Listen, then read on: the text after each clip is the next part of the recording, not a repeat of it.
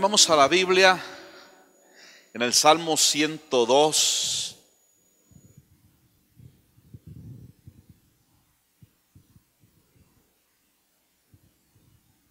Salmo 102. Vamos a leer eh, los primeros siete versículos. ¿Ya lo tenemos? Muy bien. Jehová, escucha mi oración y llegue a ti mi clamor. No escondas de mí tu rostro en el día de mi angustia. Inclina a mí tu oído, apresúrate a responderme el día que te invocare. Porque mis días se han consumido con, como humo y mis huesos cual tizón están quemados. Mi corazón está herido y seco por la hierba, por lo cual me olvido de comer mi pan.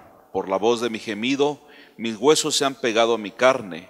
Soy semejante al pelícano del desierto, soy como el búho de las soledades Velo y soy como el pájaro solitario sobre el tejado. Esto es palabra de Dios. ¿Puede sentarse en este momento? Dios es bueno y para siempre es su misericordia que nos permite alabar su nombre. Eh, el sentir del rey David era estar en la casa del Señor todos los días. Y él decía que quería estar en la casa del Señor, pero había un propósito, dice, he pedido al Señor, he demandado y esto buscaré, que esté yo en la casa del Señor todos los días para contemplar su hermosura, para inquirir. Es decir, que eh, el sentir del rey David, quien se lo puso fue el Espíritu Santo. Es por esto que señal de que tenemos el Espíritu Santo es que estamos aquí alabando y glorificando el nombre del Señor, que nos deleitamos en el venir en este lugar. Yo no sé de dónde usted venga, de qué parte de la ciudad, de toda la ciudad está lloviendo. Ah, creo que estamos abajo de 15 grados de temperatura ambiente, pero aquí estamos glorificando el nombre del Señor. Muy bien, fíjese que este salmo es uno de los salmos llamados mesiánicos. Cuando hablamos de un salmo mesiánico, como el Salmo capítulo 22 también, eh, son salmos que nuestro Señor Jesucristo pronunció son salmos que se cumplieron también en la persona de nuestro Señor Jesucristo. Y este Salmo 102 es una oración del que sufre cuando está angustiado y delante de Jehová derrama su lamento. Una vez más, aprenda esto. El Salmo 102 es una oración del que sufre cuando está angustiado. Fíjese que según el libro de Job, la aflicción o la angustia viene de parte de Dios. Por eso dice también en el Nuevo Testamento, es necesario que a través de muchas aflicciones entremos al reino de Dios. ¿Será que es eh, un defecto en el carácter santo de Dios? No. Las aflicciones, vuelvo a repetir, Dios las permite. Vienen de parte del Señor y nos sirven para algo. Ya en, algún tiempo estuve trazando un mensaje que se llamaba catarsis, ¿sí se acuerdan de eso? La catarsis es eh, una transformación, es cuando en un proceso nosotros somos cambiados, somos depurados.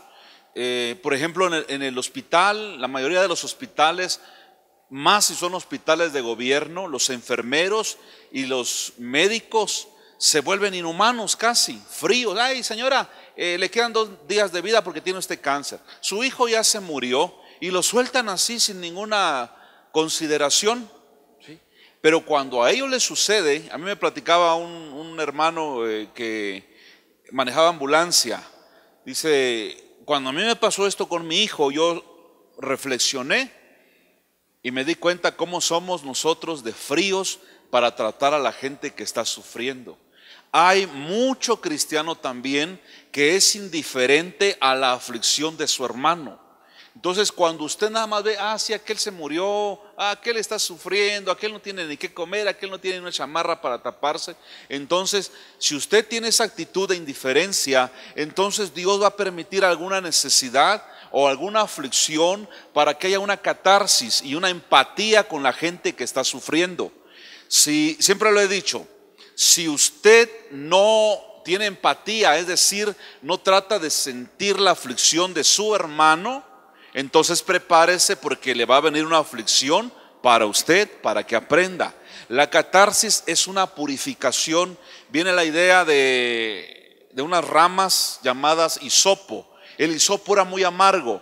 Por eso el rey David, cuando él peca y manda matar a, a un hombre y se queda con la esposa de este hombre, y le nace un hijo y ese hijo enferma de gravedad de tal manera que el rey David lloraba amargamente porque le clamaba a Dios y ayunaba, Señor, que no muera mi niño, por favor. Él no tiene la culpa. Y dice la palabra de Dios que el niño murió. Y por eso, después de ese acontecimiento, el rey David escribe el famoso Salmo capítulo 51, que en uno de sus versículos dice, purifícame con hisopo, lávame y seré limpio. Entonces, las aflicciones, las angustias en la vida del cristiano son necesarias porque nos purifican, porque cuando usted está en angustia y en aflicción, lo que hacemos primero es buscar más a Dios. Ya no queremos estar en el chisme, queremos correr a nuestro cuarto y estar solos y estar en la presencia de Dios, porque dice la Biblia que solo en la presencia de Dios hay plenitud de gozo. Usted sabrá que tendrá que dejar un rato, no quiere platicar con nadie, un rato a su familia, las redes sociales, el trabajo, lo que sea, y usted se va a ir a la presencia de Dios. Y dice la Biblia que ahí en la presencia de Dios, en el tiempo de aflicción, Dios nos enseñará sabiduría. Y no solamente eso, sino que nuestro Dios es tan bueno que el Señor nos va a fortalecer. Es por esto que, vuelvo a repetir en la enseñanza, la aflicción viene de parte de Dios, según lo que dice Job, porque en los últimos capítulos, el capítulo 42, dice literalmente, y Dios levantó o quitó la aflicción de la vida de Job. ¿Qué pasó Job? Pues casi nada. Se le murieron sus diez hijos, perdió su ganado, perdió su hacienda, perdió su casa. Tal vez no tengamos idea del dolor que es perder un hijo. Ahora, en un solo día, perder a diez hijos y perder toda su propiedad y todo su dinero. Pero fue un proceso que Dios permitió en Job, aunque la Biblia dice que era un hombre perfecto, pero yo me doy cuenta que Job tenía algunos errores. Uno de los defectos de Job es que él se creía muy justo con Dios. Siempre decía, no, pues si ayudo a la viuda, ayudo al huérfano, al necesitado y, echando en cara todo lo que él hacía por la gente yo me doy cuenta que Job se creía muy orgulloso, eh, como que por obras agradaba al Señor. Entonces Dios le tuvo que permitir una aflicción muy grande. Job nunca sabía qué era tener frío. Job nunca sabía lo que era tener hambre. Porque usted sabrá que es muy, es muy diferente tener dinero y no querer comer a querer comer y no tener dinero. Yo creo que son pocos los que han pasado por eso. Bueno, a mí, a mí nunca me ha pasado, gracias a Dios, pero sí procuro tener empatía con la gente que ha pasado por eso. Cuando sabes si tienes que decidir entre comprarte unas papas fritas o comprar unas papas fritas e irte caminando a tu casa o no comprarte las papas e irte en la combi a tu casa. Hay que, eso sí lo, lo he pasado, ¿verdad? Tiene uno que decidir entre dos cosas. Eh, tal vez alguien no tiene idea de lo que es que tenga gotera su casa y en estos días de lluvia le está cayendo ahí la gotera. Parece mujer rencillosa, porque dice la Biblia que la mujer rencillosa es como gotera constante que no deja dormir. Entonces, eh, tal vez hay una gotera, tal vez no tiene una cobija para taparse. Entonces, muchas veces Dios va a permitir la aflicción para que nosotros sintamos un poquito, porque Dios no quiere cristianos egoístas, no quiere hijos indiferentes. Alguien me decía algún tiempo, pastor, es que a mí no me gusta ir a los funerales. Le digo, ¿y te va a gustar que cuando tú te mueras no llegue nadie a tu funeral? Bueno, ya ni lo vas a ver. Pero tienes que tener empatía. ¿A quién le va a gustar ir a, a todos los funerales? Pero tenemos que ir y tratar de sentir el dolor que está sintiendo la persona. Y le digo otra cosa, sea sincero, es preferible que como cristiano usted le dé un buen abrazo a la persona que perdió un familiar, a que le diga las frases que el mundo dice sin sentirlo. Ya cambia el rollo. Murió alguien y el cristiano le pone, mi más sentidos pésames. Eso lo dice cualquiera. Eso lo dice la religión. ¿Estamos de acuerdo? Otra vez, mi más sentidos pésames, no hermanos, mejor dígale una palabra que nazca de su corazón y deje de decir cosas que ni siente y que es del dominio popular, que lo dicen hipócritamente. porque muchas veces lo vamos a sentir y muchas veces no lo vamos a sentir. Pero si usted no lo siente, procure hacerse sensible para que Dios no le permita pasar por eso. Repito, Dios no quiere hijos egoístas. ¿Sabe por qué le, predico esto? Porque el miércoles viene la verdadera iglesia de nuestro Señor Jesucristo. El domingo, si alguien escucha esto, ya no va a querer ser cristiano, va a decir, ay, nada más voy para que me regañen. No, el miércoles viene a la iglesia y como cristiano tienes que aprender que no solamente es trabajo de los diáconos, sino también de usted saludar a un hermano, preguntarle por lo menos a una persona cómo está en esta semana, cómo le ha ido. No es trabajo únicamente del pastor. Por eso la congregación, por eso los cristianos de closet no se van con Cristo, porque no están siendo perfeccionados. Es más, ni cristianos son. Pero la iglesia Dios la estableció para que nos amemos unos a otros y nos ayudemos unos a otros. Y el pueblo de Dios dice, amén. Si tú no consolaste a nadie, no esperes que te consolen a ti. Tenemos que aprender a hacerlo. Y el Salmo 102 es una oración, vuelvo a repetir, como dije al principio, del que sufre. Esta persona, que es el rey David, él está expresando, hermanos, cómo él se sentía cuando vino la tristeza. No a todos nos entristece lo mismo. ¿Sabía usted que hay por lo menos cinco temperamentos. No, estoy hablando del carácter, es diferente el carácter al temperamento. ¿Cuántos sabían que hay por lo menos cinco temperamentos?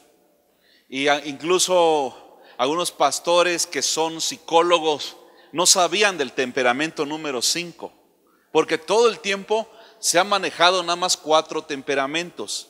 Si me pueden ayudar, hay uno que se llama melancólico, ese me lo sé de memoria porque ahí, me identifico, yo soy un poco melancólico. Eh, melancólico, sanguíneo, flemático, ¿cuál otro?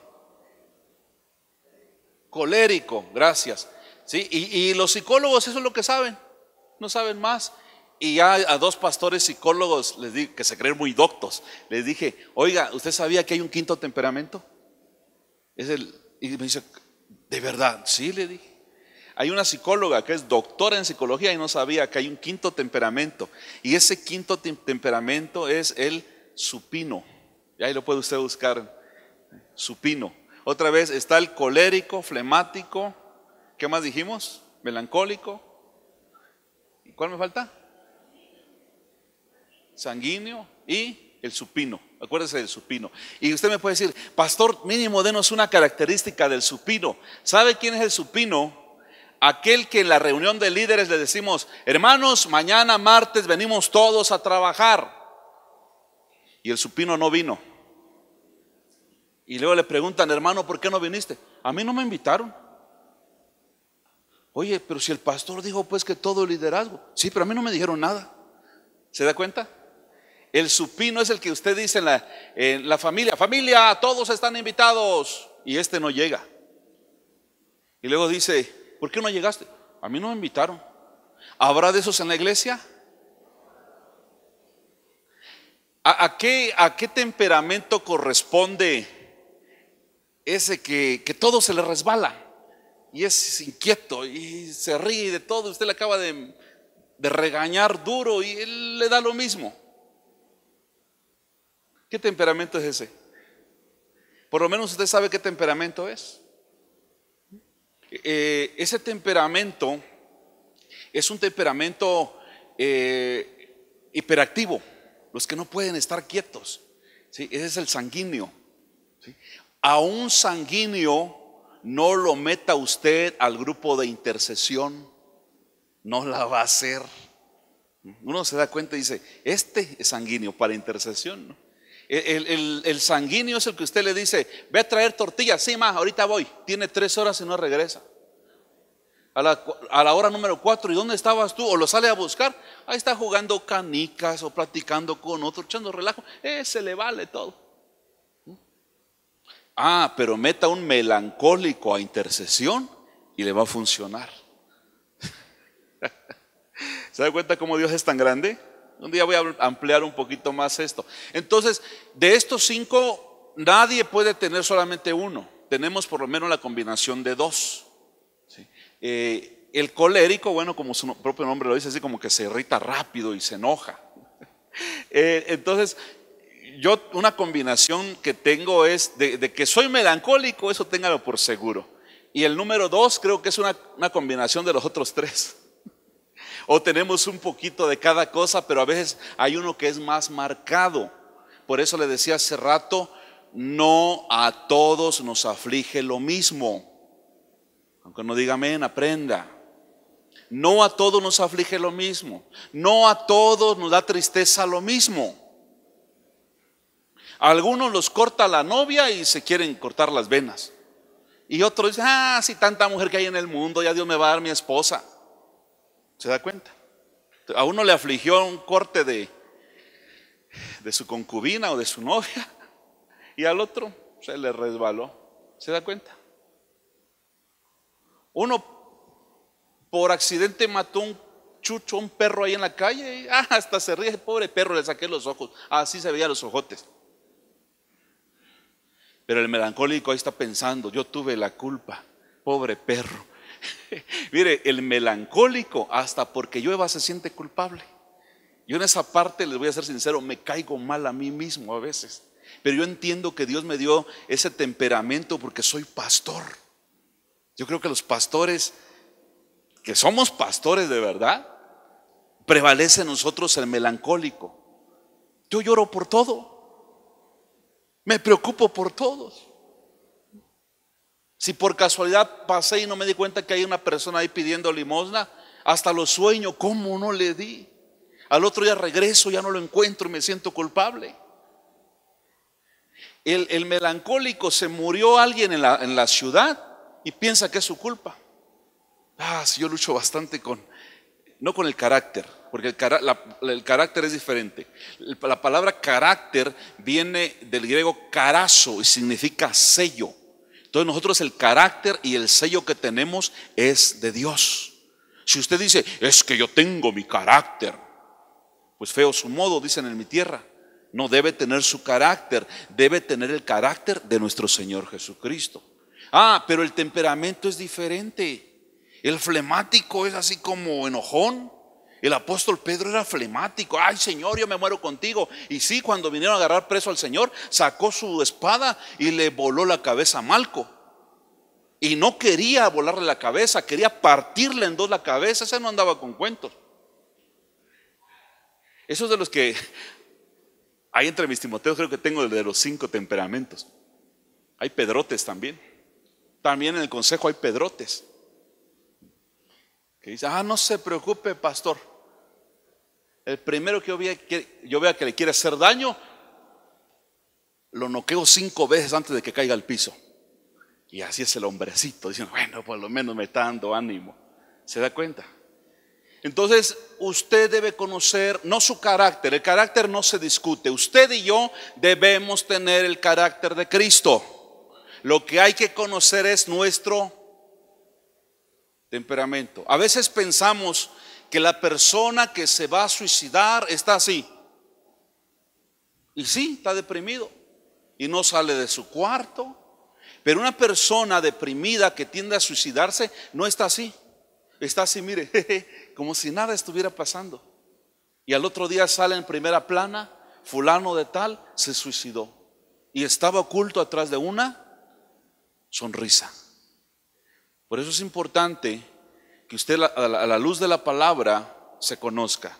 El Salmo 139 dice al final, Señor, y ve si hay camino de perversidad en mí, escudriñame Si hubiera algo malo, por favor, Señor, guíame por la senda que tú quieres. Usted no se puede conocer a sí mismo si no conoce al Señor. Usted necesita aprender, bueno, ¿y cuál de esos cinco seré? Porque el supino, el último, ningún psicólogo lo maneja. Pero ahí está. Gracias a Dios. Identifique. Y, y, eso le va a ayudar para entender. Yo hasta que vi esto entendí porque dije, Dios mío, ¿por qué se hará así? Dicen en mi tierra, soy corazón de pollo, yo luego perdono, no sé, eh, soy sensible a todo, soy bien chillón. Hasta cuando voy manejando y una vez mi hijo puso una prédica tan tremenda que, me trajo de un evento que trajo, y ah, mejor me estacioné y me puse a llorar. Y, Ay, Señor, gracias por esta palabra. Sí, soy muy sensible. Pero en cambio los demás, dice, ve, mi papá está llorando, pobre mi papá está loco, dice. No te van a entender. Es probable que, que un flemático no comprenda al melancólico porque nada que ver. Fíjese que por ser melancólico, desde que yo era más joven y mis hijos estaban pequeños, para viajar a mí me costaba muchísimo. Iba en el avión y orando por mis hijos, claro, también por mi esposa, pero principalmente por mis hijos. Y el Señor, guárdalos. Me imaginaba que iban al kinder, a la escuela, que mamá los llevaba. Y, yo pensando en mis hijos, dije, ay, cómo me caigo mal a mí mismo. Pero he notado que es un corazón que Dios me, ha dado de pastor. Para amarlos, amar a mis hijos, amar a, a la iglesia, amar a mis amigos. ¿Sí me explico? Y en otra ocasión que, viajábamos y, yo llamé por teléfono y pregunté, creo que sabes, pregunté por Nino. Y me dijeron, ah, Nino, aquí está, la estamos bañando en este momento. Y ya me puse, me puse tan nostálgico, porque el, melancólico es nostálgico. Y me la imaginé a la bebé, tenía un año y medio, si al caso. y peor que me dijeron, y parece que está triste por ti la niña. Ah, peor para mí. Esa vez iba yo a volar de Cancún a Cuba, ya ni quería yo ir a Cuba, hermanos. Ay, me puse a chillar. Y alguien me dijo, por eso no querido que llamaras, porque luego te pones sentimental, me dijo. Pero es que no todos somos iguales. ¿Se da cuenta? Y, y un melancólico no va a entender a un supino. Y un flemático no va a entender a un colérico. Se van a querer matar. Y un sanguíneo, pues menos. Pero le digo algo, el único que le comprende al 100% es Dios. Por eso nuestro Dios es un Dios personal. Por eso probablemente aunque yo me defina como una persona sensible, es muy probable que haya cosas que en usted cuando me diga y digo dentro de mí, ay, tanto rollo el, hermano por esto, pero es su problema, es, su catarsis, es la aflicción que Dios le ha permitido, porque en alguna área Dios lo está tratando. Nadie puede decir es que ni Dios me comprende. Dios es Dios. Y alguno pudiera decir, ah, pero es que Él es Dios, no es hombre, no me comprende. Ahorita nadie puede decir eso. ¿Sabes por qué? Porque el Dios todopoderoso, el verbo, el Dios maravilloso, se hizo carne y habitó entre nosotros. Cristo estuvo de 0 a 33 años en esta tierra, que son los años en los que se pasa todo tipo de pruebas, de tentaciones, aunque Él nunca pecó. Lo dice la palabra de Dios y yo lo creo. Cristo estuvo triste, amén. Se rió, amén. Ay, es que en San Juan 11:35 dice que Jesús lloró. Y ahí se quedan mucho, todo el tiempo viendo a un Jesús llorando. Ahí como pajarito, deprimido. No, Jesús también se rió. Pastor, ¿y en qué parte dice la Biblia que Jesús se rió? Porque piensan que Jesús andaba así con cara de, sargento mal pagado. ¿Sabe? Cuando Jesús fue a la tumba de Lázaro, Lázaro ya pestaba, tenía cuatro días de muerto. Y antes de ordenarle que volviera hacia afuera, Dice que suspiró y dice que se regocijó y dijo, Padre, te alabo por lo que vas a hacer. Y, y la palabra regocijo que tuvo ahí Jesús, ¿sabe qué significa? Dice que es un estado de gozo, un estado de alegría con manifestación externa. Traducido al español, él se rió, es más, hasta se pegó una carcajada Jesús, porque mientras la gente estaba diciendo, este está loco, ¿cómo es posible que le va a hablar a un muerto de cuatro días de muerto? Él se carcajeó, porque él estaba regocijándose por lo que Dios iba a hacer. Por eso dice un dicho, el que ríe al último, ah, dice que ríe al último es porque al último entendió el chiste. No, sabe, a lo mejor ahorita con las aflicciones que papá Dios nos permite, tal vez el diablo se ríe de nosotros. Eh, miren el cristiano y ese está sufriendo. Pero el que ríe al último ríe mejor. Después nosotros nos vamos a sonreír y a carcajear juntamente con Cristo cuando el diablo sea lanzado en el lago que arde con fuego y azufre. Entonces, si usted es una persona que dice, es que ni yo mismo me entiendo, le tengo una buena noticia, Dios sí te entiende. Entonces, ¿por qué no tengo solución? Porque tú no le has pedido su ayuda. ¿Se da cuenta cómo se sentía este hombre? Primero habla de la oración, que no es... Este hasta sentía que Dios ya no le escuchaba. Le hago una pregunta, cristianos. ¿Cuántos cristianos hay aquí? ¿Cuántos cristianos también nos están viendo en las redes sociales? Te pregunto algo. ¿En alguna ocasión has sentido que Dios no te escucha? Pastores, ¿en alguna ocasión han sentido que Dios no los escucha? Yo sí, varias veces. Pero recuerdo que no andamos por emoción, andamos por convicción. Los hijos de Dios no nos guiamos por lo que sentimos, sino por lo que creemos. Si usted me pregunta, ¿a poco estoy siendo pastor a veces ahora y siente, sí, siento que a la pared le estoy hablando? Pero estoy seguro que Dios me está escuchando. Porque yo le digo a papá, mira papá, papito lindo, si yo tengo un mal pensamiento, tú lo sabes. Entonces, si tengo una oración, tú también lo sabes, por lógica. ¿Se da cuenta? Si yo hago algo malo, papá, tú lo sabes. Entonces, ni modo que cuando hago lo bueno, él no lo va a saber. Si tienes un mal pensamiento, Dios lo sabe. Pero si tienes un, un pensamiento de oración, también Dios lo sabe. Entonces, muchas veces usted no lo va a sentir. Porque tal vez está cansado, porque tal vez está pasando una situación tan difícil que piensa que Dios no le escucha. Por eso ahí es importante que oremos los unos por los otros. Usted no solamente diga, sí hermanito, ahí vamos a orar mucho, hasta le agregan, mucho por usted y ni oran, ni por su comida oran, menos por el hermano.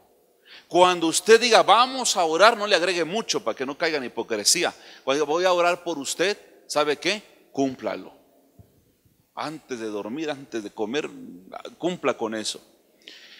Porque mis días se han consumido como humo, mis huesos cual tizón están quemados, mi corazón está herido y seco como la hierba, por lo cual me olvido de comer mi pan. Note usted el grado de depresión que este hombre tenía. les voy a ser sinceros. Un cristiano genuino, no se suicida, al menos que le venga una enfermedad mental, porque me han preguntado, oiga, y los cristianos que se suicidan, no es nada más si se salvó o no se salvó, habría que ver. Hace unos 15 años aquí en la ciudad se suicidó la esposa de un pastor. Yo estuve en el velorio, no era de nuestra cobertura, pero cuando llegó el, apóstol de ellos no tenía palabras entonces, eh, a mí me inquietó el tema, dije, ¿por qué se suicidó? Si últimamente hasta pastores se suicidan. Entonces, yo investigué y esta sierva tenía una enfermedad en la que temporalmente perdía la mente. Lo que dicen los chavos, se le botaba el chip. Y en una de esas lagunas que ella tuvo, se suicidó, se ahorcó. Eso significa que ella lo hizo involuntariamente. Lo dudo que se haya perdido. Pero si usted en sus cinco sentidos, que porque no le dieron su ayuda de 60 y más y que no alcanzó la vacuna y en vez de que yo me muera de ese virus, mejor me mato, ah, quién sabe se va con Cristo. Ya les dio miedo, ¿verdad? Dice el Señor, cuando te sientas así, clama a mí y yo te responderé. Tal vez por un poco de tiempo te vas a decir, a ver, ¿hasta dónde va a aguantar mi hijo o mi hija? Pero Él estará cerca de ti. Dice la Biblia, no se prolongará la vara de la impiedad, no sea que extiendan sus manos los justos y pequen. Dios tiene cuidado de nosotros. Pastor, pero ¿por qué a veces me siento así? Es para que deje de ser almático. ¿Qué es un almático? Recuerde que somos espíritu, alma y cuerpo. Y el almático se guía por las emociones. No, ya no voy a venir a esta iglesia porque no siento nada. Y nada más están buscando a ver en qué iglesia sienten algo. Y por último se van a ir ahí con los extra normal, ahí van a sentir pero un montón de demonios. Usted nunca diga. ¿Ya se dio cuenta cómo estuvo la tarde hoy? Fría, lluviosa, y tal vez diga, ay, la prédica, la alabanza es como para dormir, y mejor me voy a otra iglesia porque ahí sí se siente. ¿Se siente qué? ¿Está usted buscando eh, experiencias sensoriales o, o está usted siguiendo a Cristo? Yo creo que estamos siguiendo a Cristo. Jamás diga usted, no, yo ya no voy a servir a los encuentros porque ya no lo siento, si no es por sentimientos, brother aquí en este lugar, lo sienta o no lo sienta, Dios está con nosotros.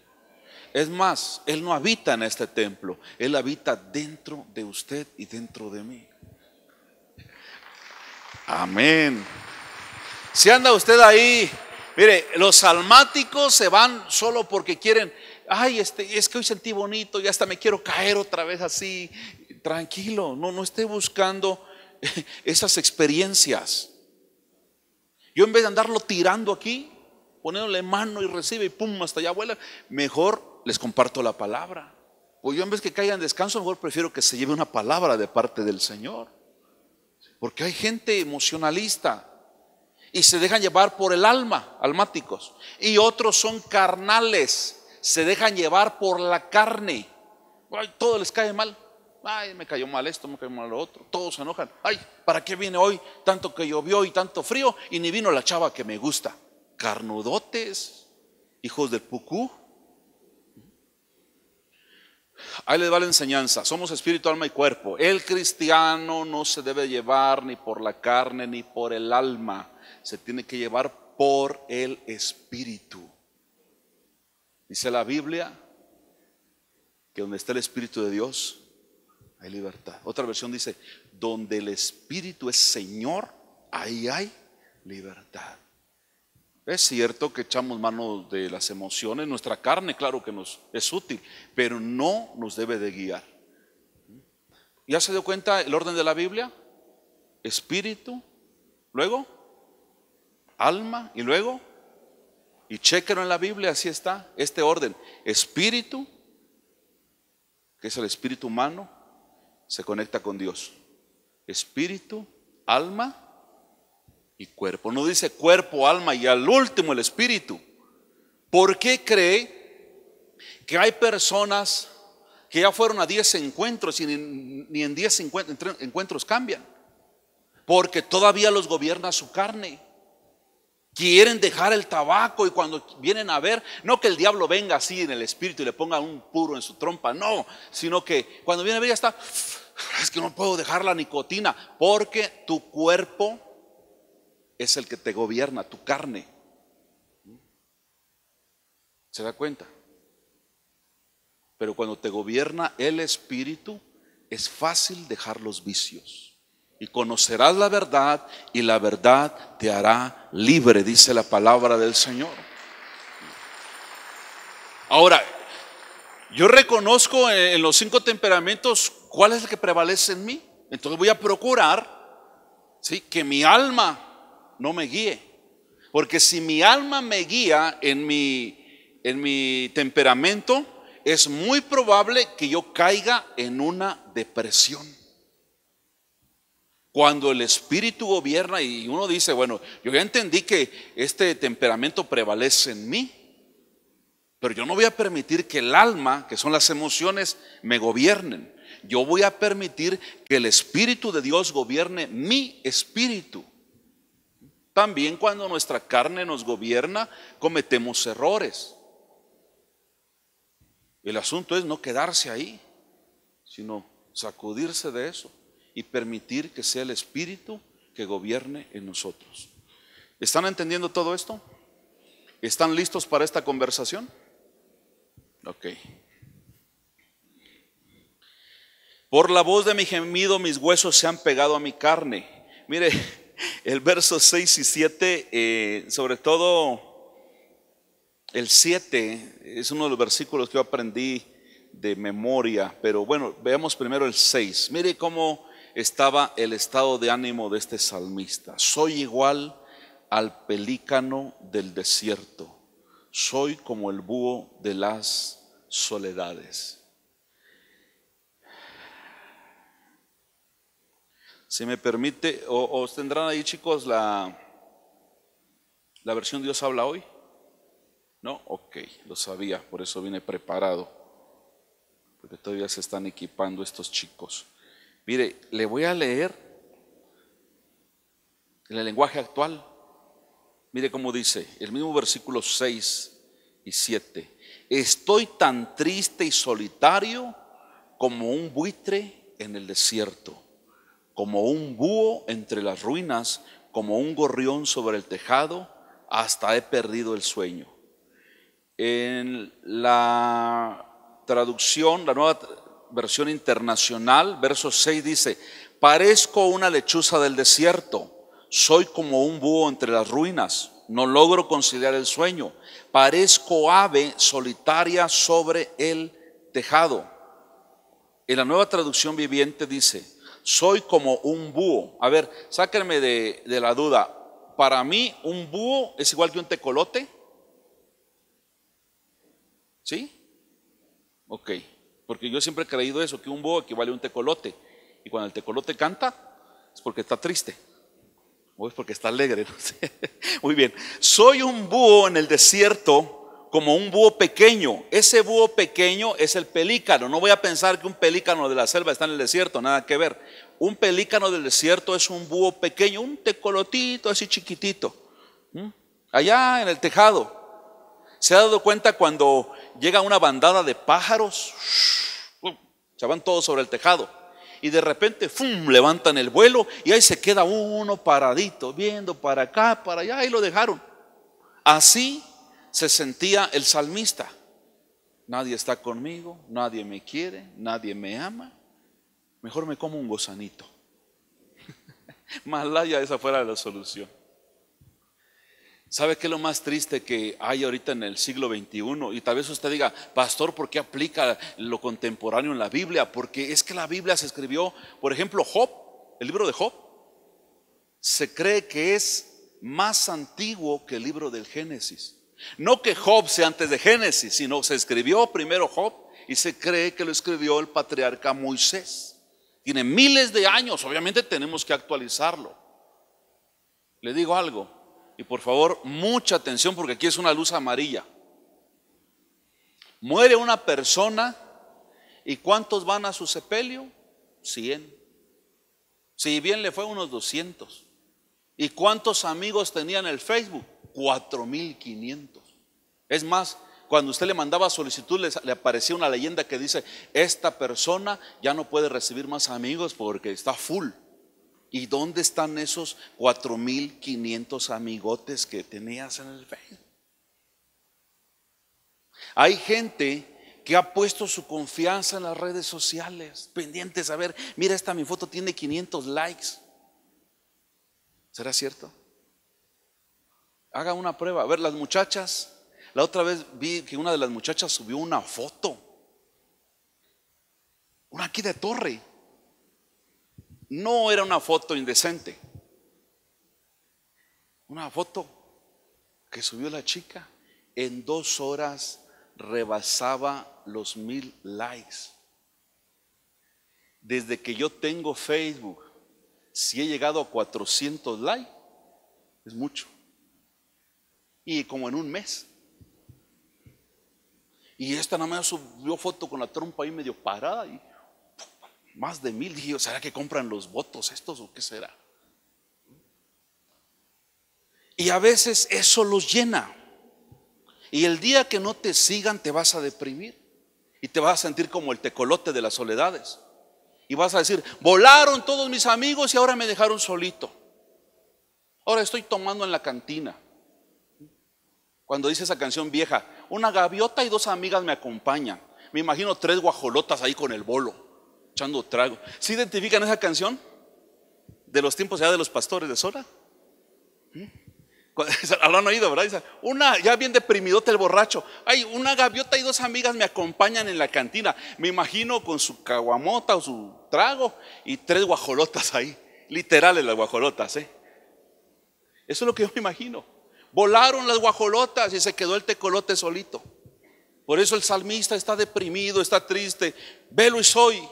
Así dice en la, versión, ¿verdad? En el, en el verso 7. ¿7? 6, 5. Ah, no, pero pongan la versión Reina Valera, pues muchachos. Con razón no lo encuentro. 7. ¿Cómo dice? Velo, velo, pero velo, velo. Mira cómo estoy solito. Te dejó la mujer, te dejaron los hijos, te dejó todo mundo. Si eres cristiano, no tienes derecho a sentirte solo. El rey David declaró, aunque mi padre y mi madre me dejaran, con todo el Señor me recogerá. ¿Se da cuenta?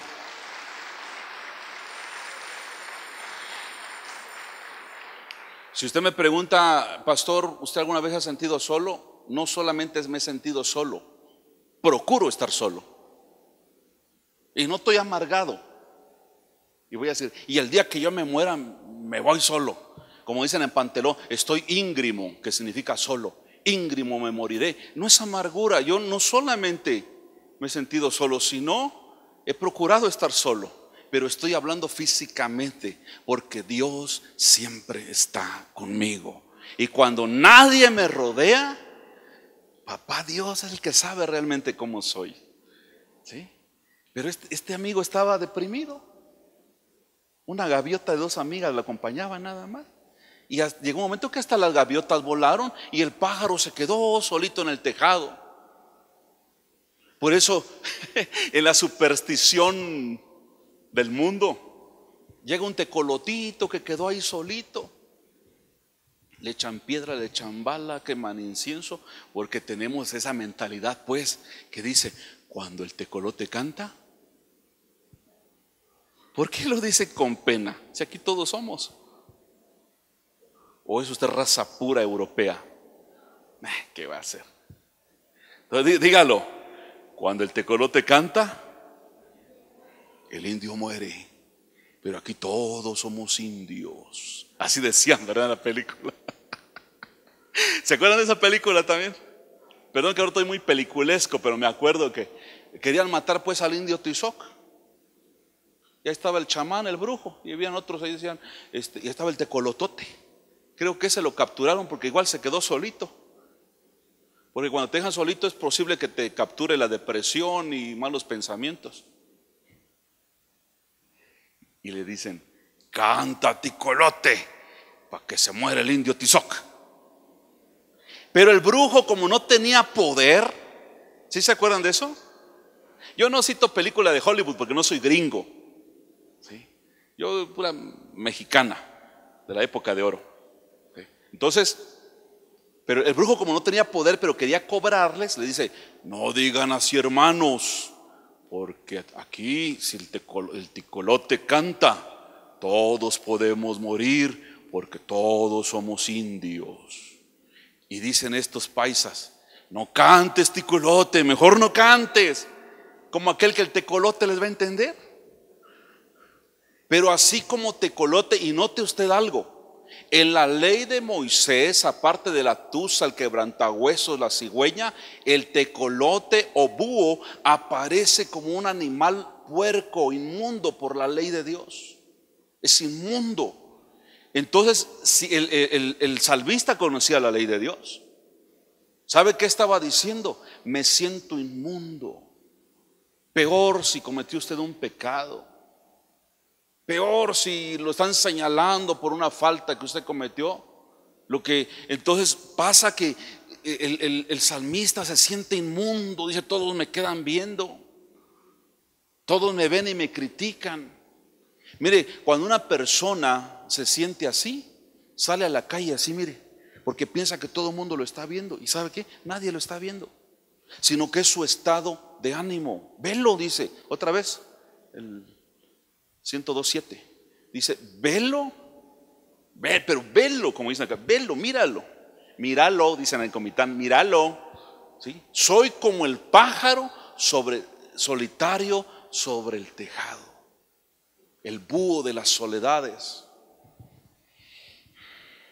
Cuando voy allá por la tierra de mi papá en Puebla, nos toca atravesar unos, hay es carretera y unos cerros de donde sacan mármol. Allá lo más bonito que hay son los cactus, que va a haber pinos como aquí en mi tierra, que es Chiapas. Son cactus. Y, me acuerdo de esto. Dije, de esto hablaba el salmista. En las soledades, ¿cuándo llega gente ahí? Se sentía solo. Y hay gente, repito, hay que traerlo al siglo XXI, que está poniendo su confianza en las redes sociales carecen de amor del papá, de la mamá, o simplemente aunque papá, mamá y, el esposo los amen, no lo creen. Pero en las redes sociales alguien le dicen, bonita, hermosa, te amo, ah, lo creen. Y al rato se dan cuenta que con un su primo estaban hablando. Alguien nos estaba ministrando porque se sintieron carentes de amor.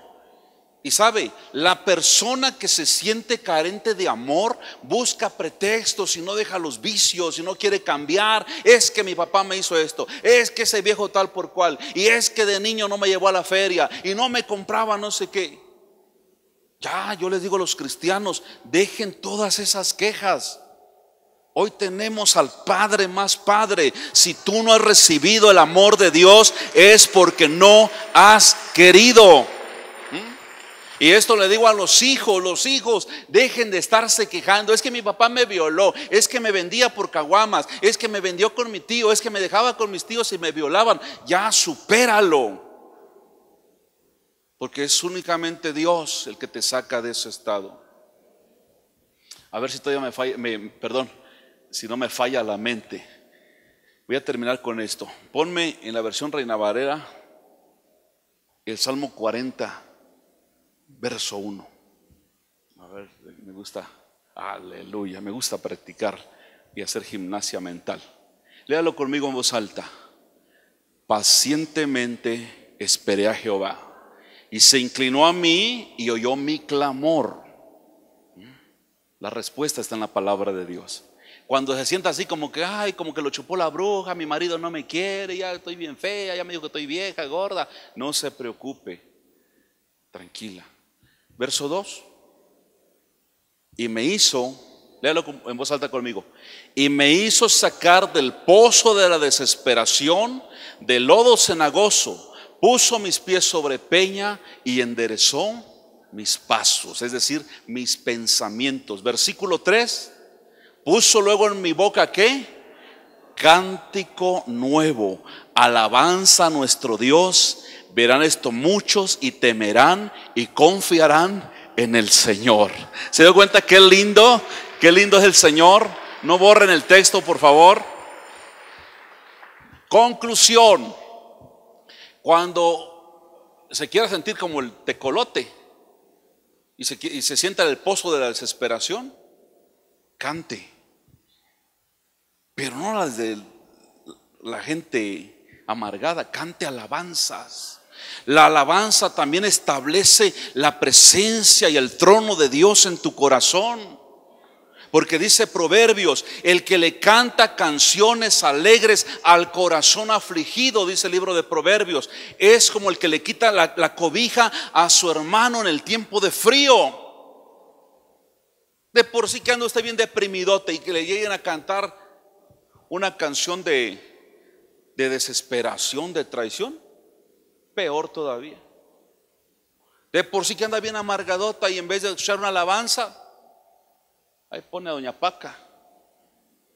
Bien amargadota la vieja. El otro día una, una amiga de la secundaria que incluso ya fue a su encuentro. Ay, se había en su estado una canción de la señora. Le digo, y vos bien ministradota. Hey, sí, luego me imaginé que algo me ibas a decir. Por eso lo hice. Le digo, si ya conoces de Dios. Deja de estar escuchando y cantando canciones que te van a administrar más desesperación. Soy la hija de nadie. Soy el hijo del pueblo. Si te vas me mato. Unos deprimidos ahí que los agarraron con mota y la banda del carro rojo y bien entusiasmados porque son motonetos y los agarró la poli. En vez que cantes, Él me levantará. Aunque no tengas fuerzas, yo levanto mis manos y alabo el nombre del Señor. Pon una música ahí que te ministre, una música linda. Hoy a la hora de la comida le dije, estaba ahí mi, eh, mi hija y se acercaron los Timoteos y le digo, hoy quiero comer con esta alabanza que me gusta mucho. Se los voy a decir porque les puede servir. Se llama Ahí quiero ir. Sé que ustedes son puro rock, ¿verdad? Pero les voy a platicar que esa alabanza preciosa dice, me dicen que hay una bella ciudad, ahí quiero ir y tú, en donde es eterna la felicidad, aunque donde congojas y afán se terminan, ahí quiero ir y tú. De perlas sus puertas, su mar de cristal, ahí quiero ir y tú. Pero el que no alaba a Dios quiere ir pero a la cantina. Y quiere ir no a, las puertas de la Nueva Jerusalén, sino a la puerta negra, a la cantina. Bar la bestia. Como aquel bolo que paró el taxi. Eso me lo platicó un pastor. Paró un taxi aquí en San Cristóbal, bien bolo, y subió al taxi y dice, eh, sí señor, ¿dónde lo llevo? Llévame donde está mi mamá. Deme la dirección. Que me lleve donde está mi mamá. Deme la dirección. A ver, síguete. Era en el Mía Mama. Ah, bien que saben dónde es, ¿verdad? Es un antro de aquí de San Cricri. Entonces el deprimido y le cantan canciones y se pone a tomar y, lo que no me dan en mi casa lo busco en otro lado y bien deprimidote peor termina. Dice la Biblia, está triste, ore. Está alegre, cante alabanzas. Pero según este versículo le digo, está triste, levante el ánimo alabando y glorificando el nombre del Señor. Escoja una alabanza que, que le, levante el ánimo. Yo tengo varias alabanzas. Me gusta mucho la letra. Cuando soy así medio nostálgico, ah, pongo esa alabanza. Si está lloviendo, pongo otra alabanza. Si voy a ir a predicar en un funeral, Pongo la de ahí quiero ir y tú que me ministre una media hora. Ya voy para dar fortaleza en el funeral. Fíjese que una vez, hace años, tal vez 20 años, en aquel tiempo no habían estos aparatos, por lo menos no los teníamos. Y sonó el teléfono. tres de la madrugada o cuatro, ahí levanto. Bueno, y era una mujer de la iglesia, pastor, por favor venga rápido, porque mi hermano está endemoniado. Y llevamos dos horas tratando de liberarlo y no podemos. Las personas vivían como a cuatro o cinco calles de la casa. Tres de la madrugada, entre tres y cuatro, diciembre, tres grados de temperatura. ¿Cómo crees que estaba yo? Frío. ¿Cómo estaba yo? Frío. Frío pues por el frío que había. Y frío porque ya ve que cuando uno se despierta, yo me quedo un rato así porque no sé ni en qué planeta estoy. Después digo, ah, ya, ya, soy fulano de tal. Eh, a veces pienso que es domingo y es miércoles, a veces pienso que es miércoles y es domingo. Y ya cuando ya pongo en orden mis pensamientos, ¿sí me entiende? Entonces yo todo frío, ni sé en qué planeta estoy, la mujer está gritando y mi esposa me dice, ¿qué pasa? Le digo, hay un endemoniado, ¿qué vas a hacer? Pues voy a ir. En ese tiempo no contaba yo con los valiosísimos pastores de zona que mando hoy. Le digo, vaya a liberar a fulano y lo liberan en un ratito. Abusados pastores de zona. Entonces, Dije yo, Dios mío, pues la casa esa está cerca y yo estoy frío. ¿Sabe qué hice? Tenía que entrar en calor, tenía que entrar en el espíritu. Y, entonces ahí tenía el reproductor y empecé a cantar el poderoso de Israel. Una vez lo canté, iba yo en el espíritu. Una cuadra antes de llegar a la casa se escuchaban los gritotes del hombre. Y las personas, pues nada más lanzándole versículos de la palabra. Ah, dije yo, si hubiera llegado frío, el endemoniado me cachetea. Aquí ah, voy, ahí voy yo en el espíritu, pues cantando el poderoso de Israel en mi mente, ah, bien, en el calor del Espíritu Santo. Un tipo grotesco, como de mi estatura, con un ojo medio chispado. Y cuando me vio, me empezó a maldecir. Pero no era él, era el demonio. Y me dijo, este, a este lo odio, me dijo, porque me ha golpeado varias veces. Dije, ah, bien que me conoces. En la primera reprendida, literalmente el hombre pegó un brinco de una vuelta al aire, al piso, liberado en el nombre del Señor. ¿Sabe? Me acordé cuando Jesús liberó al endemoniado Gadareno. De ahí estaba aquel hombre grotesco, sentado a mis pies, por favor, pastor, no se vaya, porque si no, el enemigo, el diablo va a regresar. Le digo, no tiene por qué regresar. Y es más, yo ya tengo sueño. Yo me voy, pero si usted acepta a Cristo, Cristo queda con usted. Pues ahorita dicen que es predicador este hombre, nada más que se fue a Japón, por eso ya no lo he visto. Conózcase, permita que Dios lo escudriñe, detecte qué cosas lo ponen tristes y cuando pase una aflicción, no reniegue. Necesitamos catarsis, necesitamos algunas cosas. ¿Sabe qué dijo Job? Job presintió lo que le venía. En el libro de Job dice, si yo lo presentía a la hora de comer, ya no comía a gusto porque sentía como que algo malo venía sobre mi familia. Pero no me apercibí, no me preparé. Le digo algo, cuando usted empieza a tener sueños feos, empieza a sentir una aflicción en su corazón, no lo publique en las redes sociales. Vaya a su cuarto y clame a Dios. Y pida misericordia para usted y los suyos. ¿Ya se dio cuenta que hoy miércoles se cierran los primeros seis meses de este año 2021?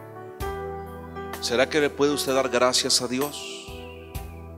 Cierra tus ojos y dile gracias, papito. Que a pesar de todo, tu palabra dice que aunque el hombre fuera infiel, tú permaneces fiel. Que a pesar de todo, tú nos has guardado y has tenido tanta paciencia para con nosotros. Díselo el Señor personalízalo, dile Señor, has tenido tanta paciencia para conmigo. Pues tu palabra dice que no hay ni un bueno, que el único bueno eres tú, Señor. Pídele perdón a Dios. A veces lastimamos a nuestros hijos, a nuestra esposa con una palabra. Pídele perdón a Dios.